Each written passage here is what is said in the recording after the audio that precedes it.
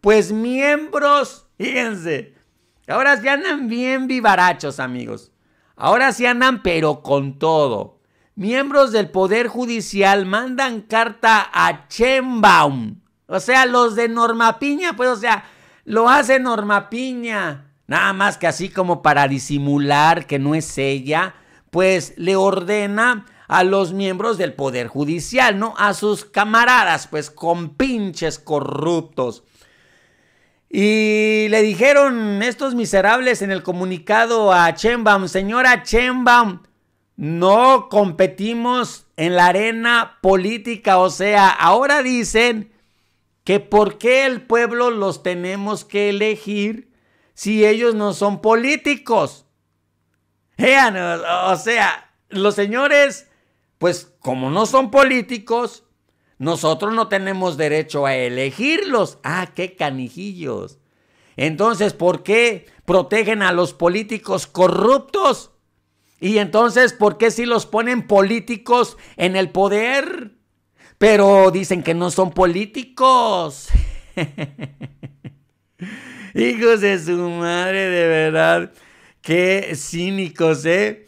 Integrantes del Poder Judicial de la Federación enviaron una carta abierta a la virtual presidenta electa Claudia Sheinbaum en la que externan su preocupación por el contenido de la iniciativa de reforma que planteó el presidente Andrés Manuel López Obrador.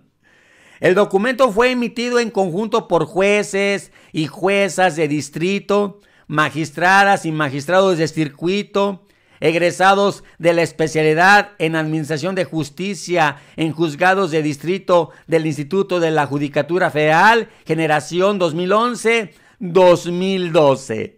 Los juzgadores agregaron que acceder a los cargos de juez y magistrados a través del voto popular dejarían de lado toda esa inversión que se ha hecho para la formación de profesionales al servicio de México, tanto en lo económico como en lo académico, como los planes de estudio, programas e investigaciones. Dicen los güeyes estos amigos que se unieron para escribir esta cartita, este, este comunicado a Chembam, que si el pueblo los vota, se va a perder toda esa, toda esa belleza, todo ese sufrir que tal vez algunos padres de familia tuvieron porque su niño fuera un abogado, tuviera una licenciatura, que todo eso se va a perder.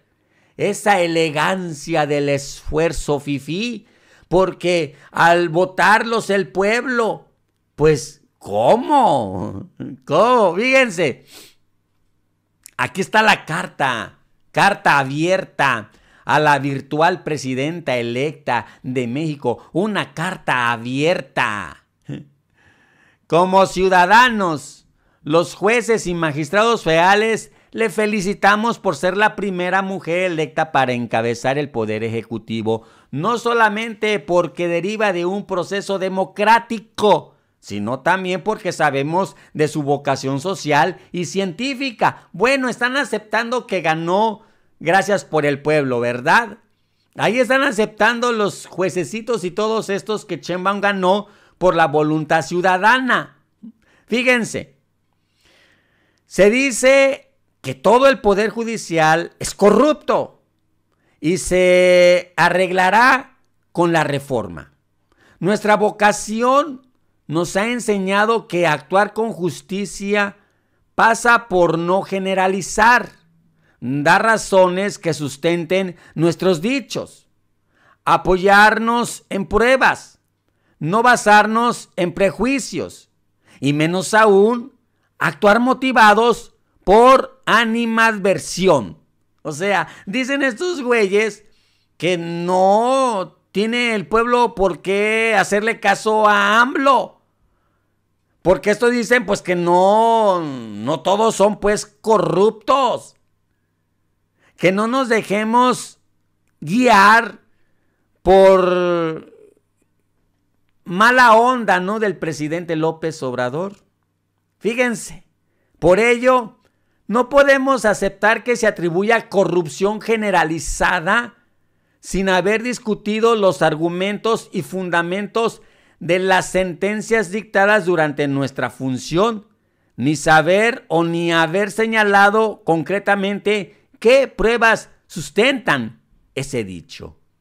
Exigimos la sanción de los malos juzgadores, pero no podemos todos ser castigados por la conducta de unos cuantos. Ay, sí. La conducta de unos cuantos. Todos. Más bien unos cuantos. Unos cuantos son los eh, juzgadores decentes y que sí ven algo por el pobre, por el pueblo. Esos sí son unos cuantos. Pero la mayoría son unos miserables corruptos. ¿Para qué se hacen tarugos? Bueno, que por qué los van a meter a todos en el mismo costal. Fíjense, y también dicen, estamos abiertos al cambio. Así lo hicimos en la reforma penal de 2008, en la de materia de derechos humanos de 2011, la recién laboral de 2000 19 y actualmente la civil y familiar de 2024. Nunca hemos detenido nuestra formación ni hemos dejado de adaptar nuestros criterios jurídicos a la luz de las nuevas necesidades de la sociedad. En los últimos 30 años, el Poder Judicial ha realizado una gran inversión en formar profesionales al servicio de México no solamente económicas, sino en investigaciones, desarrollo de planes de estudio, programas académicos y en sensibilización y conocimiento de la problemática nacional a partir de una visión interdisciplinaria de la protección de los derechos humanos. O sea, han hecho profesionales según ellos al servicio de México, ¿sí? al servicio de México, ¿cómo no? acceder a los cargos de juez y magistrados por voto popular dejará de lado toda esa inversión. El voto popular no está dirigido a favorecer las cualidades derivadas de la formación social y profesional del juzgador. El voto popular es fuente y producto de la actividad política que no nos corresponde realizar. ¿Cómo ven a los machuchillos? Ah, es que no son políticos. ¿Cómo los vamos a votar? Ellos no son como Chembaum, no son como Xochitl, no son como AMLO, como Anaya. O sea, ellos no son políticos.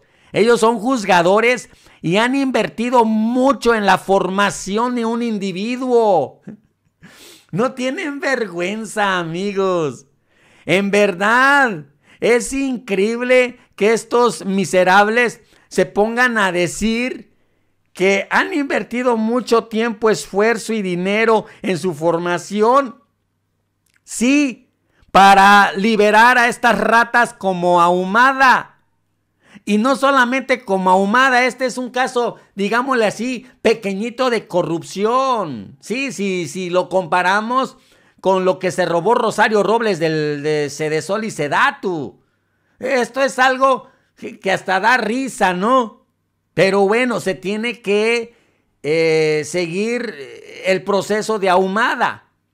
Pero mendigos jueces mm, sueltan a ratotas declarados amigos genocidas como Murillo Karam, Soltaron a la misma Rosario Robles, al amante de este sinvergüenza. Ah, que porque, pues no hay pruebas, güey. Bueno, ¿y dónde están los más de 5 mil millones que se robó Rosario Robles? A ver, dejen verlos. Si los vemos, pues entonces sí, déjenla libre. Pero mientras no veamos esos 5 mil millones que se robó la cínica de Rosario Robles, ¿por qué se tiene que ir del bote? ¿Eh? La señora no trabaja. La señora corrupta de Rosario Robles, ¿en qué trabaja? ¿Tendrá una zapatería? ¿Tendrá algún changarrito la güey? Porque ella está viviendo a toda madre allá en su mansión, en esa casota de lujo, una de las tantas que tiene. y todavía anda manteniendo a su hija y a su nieto. Pues, ¿Cómo le hará la señora Rosario Robles? Digo, así como para que gracias a su cuerpecito ande sacando feria, pues debe de estar muy jodido el güey que la contrate. Va a estar igual de jodido que este miserable, ¿no? ¿Eh? Digo, si esas vamos. Y dicen los juececitos, pues a través de su carta aquí a nuestra futura presidenta, pues que el pueblo no, güey, o sea, el pueblo no nos tiene que andar votando porque nosotros no somos ni del PRI, ni del PAN, ni del PRD, ni del Verde, ni del PT, no somos políticos. Ay, güeyes.